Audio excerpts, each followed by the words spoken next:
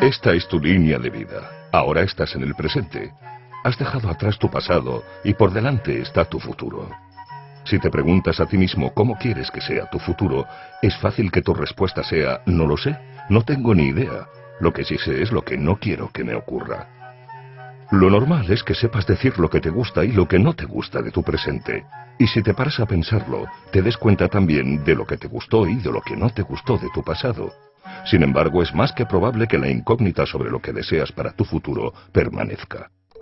En general, desde pequeños nos enseñan multitud de conocimientos, pero no nos enseñan a confiar en nosotros mismos. Creer en ti y tener claro lo que quieres puede ser tildado por muchos de prepotencia. Hijo, lo que hay que hacer es trabajar duro, sacrificarse y aceptar tu destino. Soñar despierto es una pérdida de tiempo. Tampoco faltará quien te recuerde que eso es como el cuento de la lechera. Curiosa fábula que alguien debió inventar para que los demás dejaran de soñar.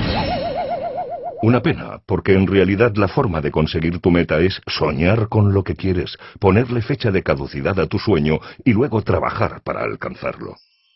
Te puede ir muy bien en el futuro. Todo depende de lo que tú creas. Lo primero que debes hacer es tomar conciencia de algunos sencillos conceptos, entenderlos y ponerlos en práctica. Empecemos por el concepto de zona de confort. Esta es la zona metafórica en la que estás cuando te mueves en un entorno que dominas. En ella las cosas te resultan conocidas y cómodas, sean estas agradables o no. Por ejemplo, estar atascado todos los días en el tráfico es estar dentro de tu zona de confort, porque es lo que conoces. Que tu jefe te machaque en la oficina es zona de confort, porque es lo que conoces. Que disfrutes o pelees con tu pareja es zona de confort, porque es lo que conoces. Tus hábitos, tus rutinas, tus habilidades, tus conocimientos, tus actitudes y tus comportamientos son también parte de tu zona de confort. Alrededor de tu zona de confort está tu zona de aprendizaje. Esta es la zona a la que sales para ampliar tu visión del mundo.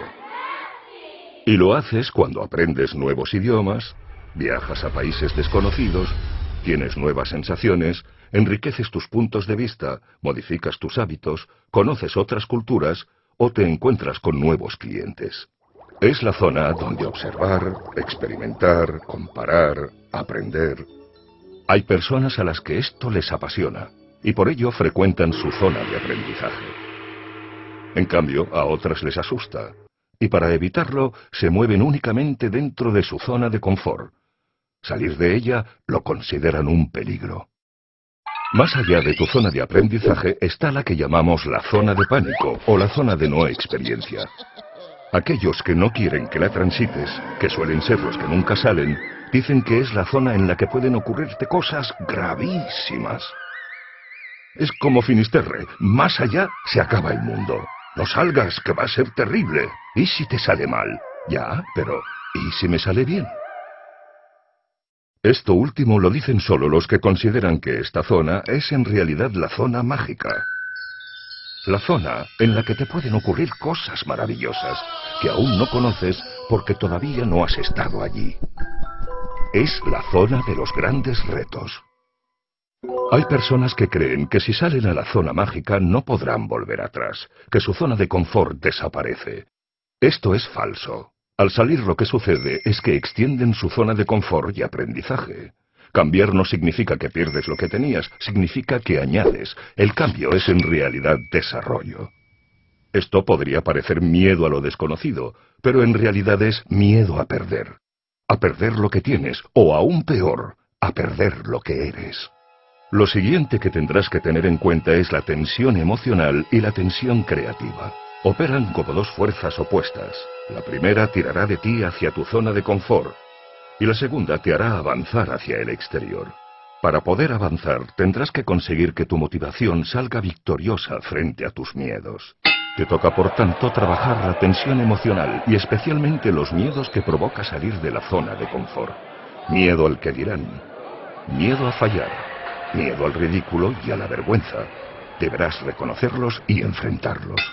¿Te preguntas cómo puedes hacerlo? Cree en ti. Tú eres el protagonista de tu vida. Lo que tú no decidas probablemente lo harán otros por ti.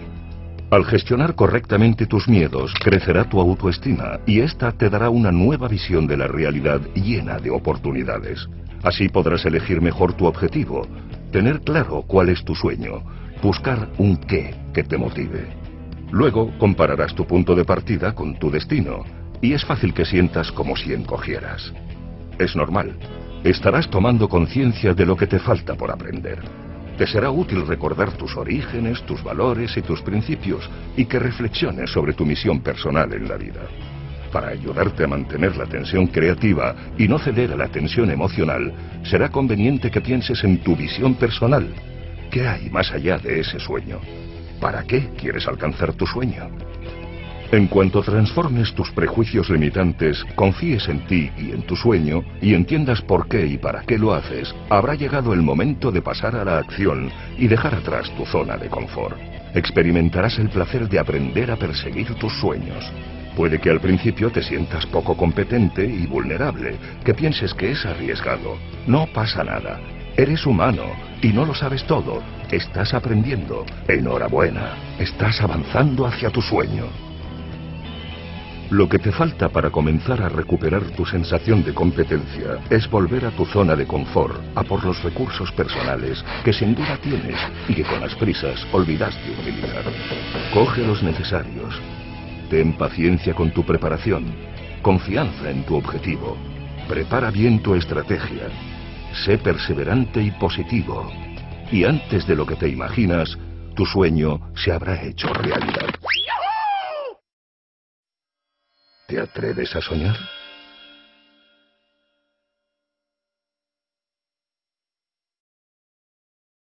Innovation